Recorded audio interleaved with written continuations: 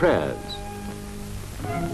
In Calcutta, despite monsoon weather, more than 60,000 football fans watched a charity match between Mohun Bagan and East Bengal.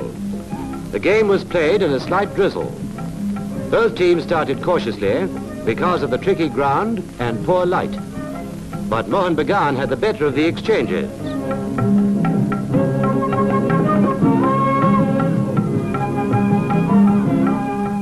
From packed stands, spectators cheered as the ball swung from one end to the other. Four minutes from the end, Mohun Bagan converted a penalty to win the match.